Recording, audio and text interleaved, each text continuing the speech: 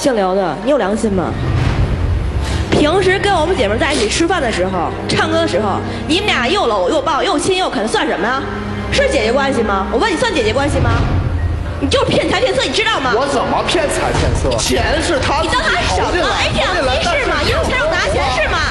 怎骗色？谁是色呀？你不年轻的话能骗二十万吗？视频中这个情绪激动的女人是牛女士的闺蜜，而她怒怼的对象则是闺蜜的男友小刘。那么到底发生了什么，竟惹得她对小刘破口大骂呢？想当初，小刘还只是一个酒吧驻唱，因为和做生意的闺蜜牛女士交往后，就一跃成了有钱人。而在此期间，闺蜜更是经受不住小刘的甜言蜜语，一直充当着她的提款机，直到以创业的名义骗走了闺蜜的积蓄，小刘才本性外露。也正是在这之后，他不仅开始否认两人的恋情，甚至还躲了起来。这一操作可谓是让牛女士彻底傻了眼。于是，为了给自己讨个说法，她找到节目组。一上台，牛女士就忍不住向主持人吐起苦水。我这两三个月以来，用了各种办法去找他，嗯，去他家里，去公司，有的时候堵着他了，他根本就扭头就走。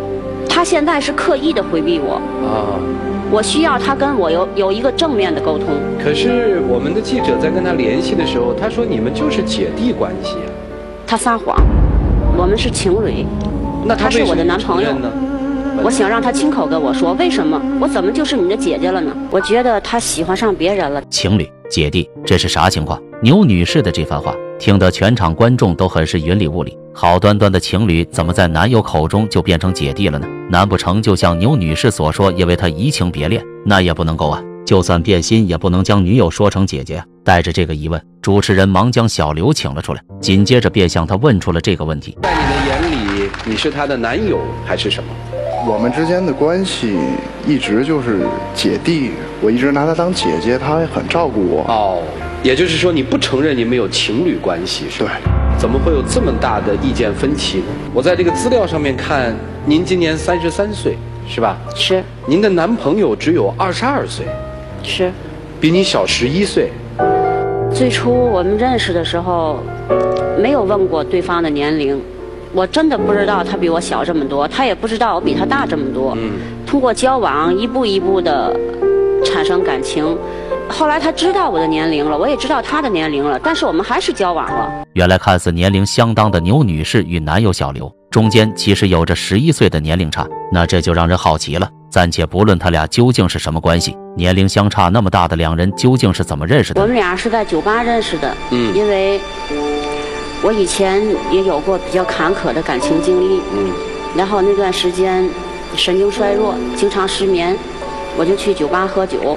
那个时候他在酒吧驻唱，嗯，我经常给他送花，所他下来敬酒，所以就这么认识了。按理说，顾客给驻唱送花，驻唱下来敬个酒很正常啊，这顶多称得上是认识。那两人的关系是怎么就开始暧昧起来了呢？后来是他追求的我，他约我吃饭，嗯约我出去玩儿，嗯，因为他没有固定的工作、固定的住所，我给他提供了一间专门的客房。嗯，再后来，我们就住在一起了。牛女士表示，在那次送花敬酒之后，小刘便开始追求起自己，还总是约她出来玩。没过多久，两人便住在了一起。听到这就让人纳闷了，两人都同居了，可为何小刘干嘛刚一上台时还否认情侣关系呢？提供一间住房，那也叫住在一起吗？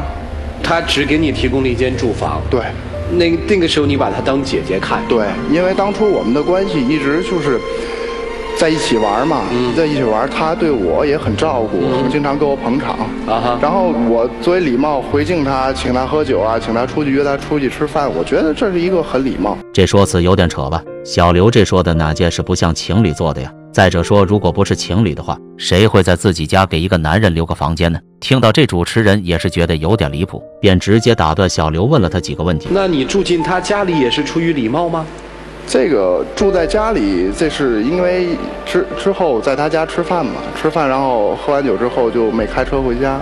他说正好我那边有个客房，然后你就先住在这儿吧。只住了一天是吧？然后有这么几次，然后之后你就说你干脆你就是有空你就过来住，这样有时候经常会去。啊，你经常是大概的频次是多少呢？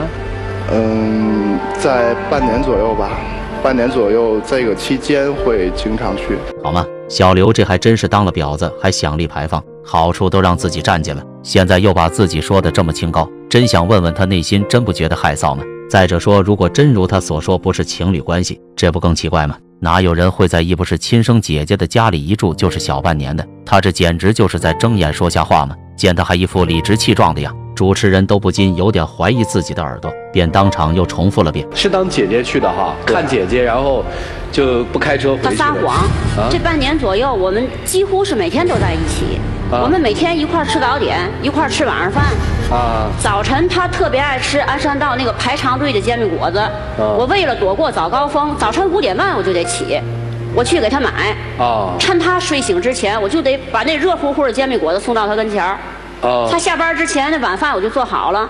我这三十多年也是一直被人捧在手掌心里的。嗯我也是被人宠大的。哦，我什么都没做过，我为了他，我为你做了多少？见面对主持人的疑问，男友还搁那不断狡辩。一旁的牛女士怒了，不禁当场细数起两人之前的过往。听到女友提到这事，一旁的小刘不知是心虚还是怎么的，直接打断了牛女士，又指责起她的不是。今天我过来这边，我不想谈这些，我只是想说明我们不想在一起，我不想和他在一起。他现在每天经常过来骚扰我的生活。嗯之前朋友一块玩儿，嗯，挺好，都挺愉快，挺开心的。嗯后来越来越开始触及我的生活、我的工作、我的社交范围。哦每天给我打电话，啊问我在哪儿了，啊干什么，一会儿去做什么，一会儿去见什么人，都要一五一十的跟他去汇报。就有一次印象特别深，那天开一个很重要的会，然后我有三块电池，全都给我打没电了，接着就给同事打。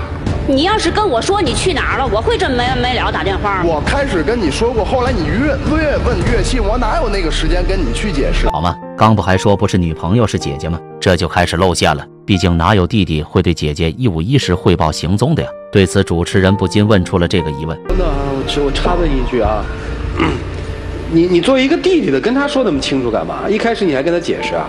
因为刚开始有时候在一块儿晚上吃晚饭什么的嗯会聊到一些，后来他认为这就已经成为习惯了，像啊就是每天晚上回来吃饭的时候必须汇报工作。哎，你不是说不是每天去吗？怎么又变成了每天晚上回去吃饭的时候必须汇报工作？就是经常有一段日子，就是经常会每天去，然后有一段日子是偶尔。为什么就是经常期间去呢是在就一期间，就是朋友关系还住人那儿，多多不方便啊！他自己一个人住，房子挺大的，那边挺偏的。几居室啊？三居。我朋友这么多，怎么偏偏我不给别人提供住所，怎么就得给你提供呢？那个时候在一人来住，就块儿一块你来住呢？在一起一起玩儿，你觉得很开心，大家在一块儿，我觉得这没什么问题啊。我天，小刘这话说的是漏洞百出，真想问问他这脸皮是在哪修炼的？事都发展到这步了，他竟还舔着脸搁这些上起火了还？再者说人家房子大关他啥事啊？跑别人家白吃白住，现在称人家房子空着也是空着，这不妥妥的白眼狼吗？看到小刘这一副死不承认的模样，在常人更加好奇起当初两人是怎么确定的关系。许是觉得对小刘这种人问了也白问，主持人便向牛女士问出了这个问题。你们之间你认为的所所谓的这个恋人关系的确立，是在什么时候，以什么样的方式？你们有明明确的说过？那天是我的公历生日，他带我到他驻唱的酒吧，他上台唱了一首歌，他说，把这首歌献给我一生中最重要的女人。哦，你就觉得这是向你示爱了，是吧？还没等牛女士的话说完，一旁的小刘便急不可耐地再度狡辩起来。当时在酒吧那种环境下，会经常说我送给一些朋友啊什么的，这这些话很可是你正常啊说最重。要的女人啊，因为她那阵儿对我已经很就是很关心、很照顾、很好，啊然后我觉得她对我来说也很重要。你现在就是胡搅蛮缠，你知道吗？我怎么胡搅蛮缠了？你都到现在了，都说到这份上了，你还不承认？你心里认什么？你需要让我承认什么？我是今天过来就是来跟你说男朋友分手，没有什么别的事情。好家伙，果然世界上不存在绝对完美的谎言。这不，小刘又再次自己拆穿了自己的话。前脚说着跟牛女士不是情侣，只是关系还不错的姐弟，这后脚就说分手。这前后矛盾的说法，自然也引起了一旁嘉宾的注意。我觉得小刘他已经承认了，对，他刚才说他们说分手嘛，来分手的嘛。我来这儿分手的别急，那小刘，我们再明确一下，今天来是来分手的，还是解除姐弟关系的？我现在想和他分开，因为他确实已经打扰到了我的生活、工作以及啊各方面的事情。不得不说，小刘的心理素质还真的相当可以。面对自己的谎言被拆穿，人还面不改色地考究起自己的用词来，把分手说成分开，继而直接跳过这话题，顺带将错甩在了女友头上，还真是三套丢两套有一套啊。不过说到工作，主持人便根据资料问了他个问题：那你现在不在酒吧唱歌了是吧？对，我看小片里说你现在做的这份事业，实际是他出资帮你做的是吗？当时的情实际情况是这样的，当时他大概投了二十万，然后其他的我在酒吧什么，呃演出啊什么也挣了不少钱，以前还有点积蓄什么的。然后我做了一个公司，听到男友提及公司，牛女士再也压抑不住心中的委屈，当场向主持人倾诉起来。从她创办这个公司以后，她就跟以前不一样了，她开始变得忙了，没有时间了。嗯，后来就是没有时间接电话了，再后来就是今天我有客户得陪客户，我今天不回去了。嗯，在那段时间还是说有借口的避开我，再后来就是根本就没有理由了。也难怪牛女士提起这事是满脸的委屈，自己拿全部积蓄给男友开公司，她却在事业小成时要将自己抛弃，还连正经的分手都不是，直接否认起自己跟他的关系。这搁谁身上不委屈不气愤呢？最起码你要给出个这么做的理由啊！对此，主持人不禁当场向他问出了这个问题。小刘，你为什么不承认是恋人关系呢，或者叫情侣关系？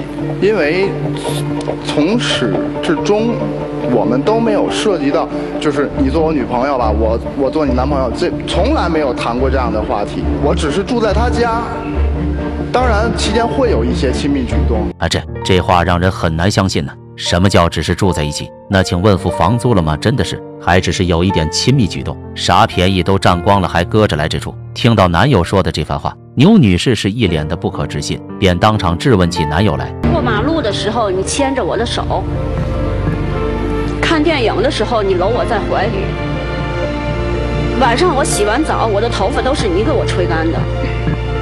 生活上那些细节，你拿它讲出来干什么？我真的不愿意再这样纠缠下去。不是真的没有意义。你小刘这是坚决不承认自己的问题，明明是自己不仁义在先，现在竟指责女友太过分纠缠。听到他这话，一旁的主持人都有点听不下去，不禁帮牛女士辩了两嘴。你现在你想，他他为什么跟你纠缠？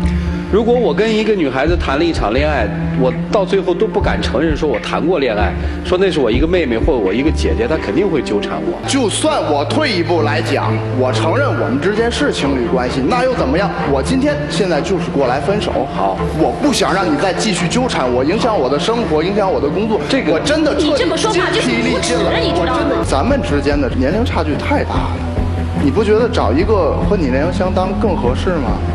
你认为我们之间那是爱情？那好，那就说成爱情。在主持人的疑问下，小刘居然还现场狂躁了起来。之前用别人钱的时候怎么不这那的？现在嫌别人年纪大早干嘛去了？感情是便宜占尽玩腻了，现在搁着急眼了。真想问问他哪来的脸？但凡是个人有点良知，都不能对曾帮助自己渡过难关的人撂这种难听话吧？这些话听在旁观者耳中都很是刺耳，更何况是在一旁的女友耳中呢？只见此刻的牛女士早已是满脸泪水，而这时突然从台下走上来了一个人。主持人好，好，我是牛牛的朋友来，站上来。认识小牛吗？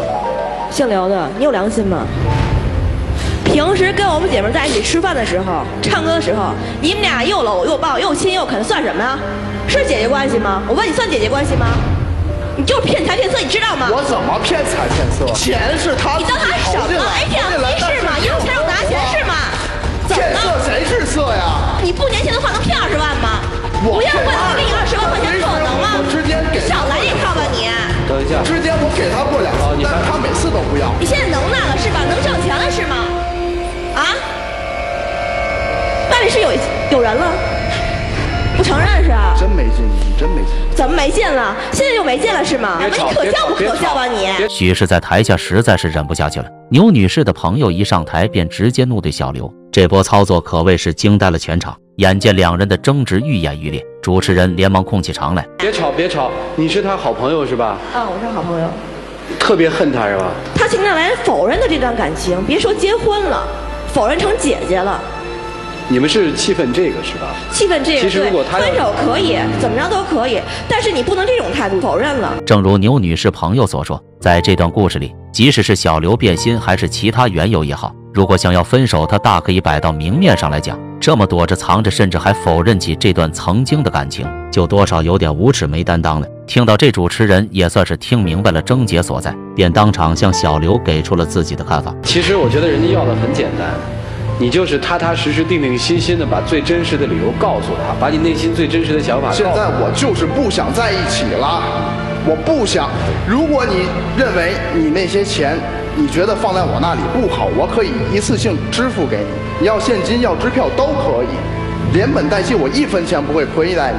真怀疑小刘现在是在揣着明白装糊涂，这能是钱的问题吗？听到这一旁嘉宾席的马丁老师直接打断了他：“小刘，小刘，你别在这说钱的事儿了，很简单，咱不说啊，你是陈世美，但是不管你们俩怎么样，原来好过，哪怕你现在想分手了，就算被骂得狗血喷头，人家原来不是帮过你。”你现在说我还你钱，你不要，我怎么怎么着？你不让我走，都是你的错，你凭什么死皮赖脸？你明白我的意思吗？一句话就是，如果他有恩过于你，或者你们俩好过，最起码谢谢总有一句吧。而且表示过感谢。你现在完全是埋怨，你不让我走，你缠着我，你是妖精。是吧？你放我自由吧！你再不放我就跟你急。这是就如马丁老师所说这般，无论小刘内心是怎么想的，面对一个曾真心帮助过自己的人，不说让他感激涕零，但最起码的感谢的说一下吧。搁小刘这倒好，还反指责起了恩人，这不妥妥现代陈世美吗？说到这，全场唯一的女嘉宾陈老师也坐不住了，不禁当场说出了自己的看法。小刘，我告诉你，我真没看到。人世间有些债是可以欠的，有些债是不能欠的。什么样的债不能欠？女人的感情的债。虽然你可以说我把二十万连本带利还给你，但是这二十万背后的情谊，以及在你人生最缺少机会的时候，他提供给你的资助，提供给你的机会，所有的这一切一切的一切，你在当时是心知肚明的，你知道他要的是什么，你也含糊的接受了，你以为你可以还清，但是人世间这种债。是还不清，也说不清。你要说结束这段关系，第一，你先承认你欠了这笔债；第二，你就斩钉截铁的在这儿说一句：“我不爱你了。”分手其实只需要一个理由：我不再爱你。不得不说，陈老师的眼光很是毒辣，寥寥几句便道出了小刘的本质。正如他所说这般，一开始小刘接近比自己大那么多的牛女士时，内心也许就是带着某种目的的。当然，人性往往如此，会让人不愿承认自己的卑劣。但事情都已经发展到这种地步，不面对又不太可能。对于这个问题，最好的方式便是让小刘自己去直面问题所在。如果真心想分手，那就直接说明白道清楚。话说到这，是该说的都说了。那听完两位老师建议后的小刘，此时此刻是怎样的想法呢？我承认今天我态度不好，我说了很多过激的话，但是我很感激你，谢谢你曾经对我的关怀、照顾。我真心的希望你能有一个真正属于你理想的归宿，而不是我。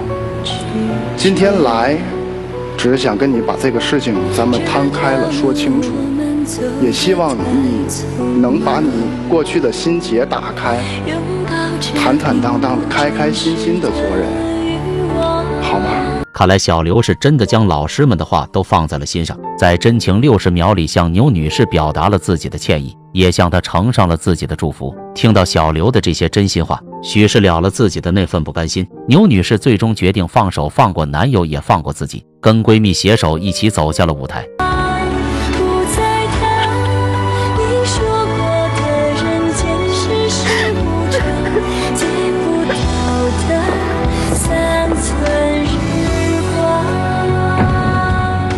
视频的最后，看到牛女士哭泣着离开的背影，在常人都不免很是心疼。但感情就是这样，永远需要两头的爱意。事情已经发展到这，只能祝福她可以在不久的将来早点遇到那个真真正正对她好的另一半。视频到这就结束了。屏幕前的大家对这段感情故事有什么看法呢？欢迎在下方评论区评论留言。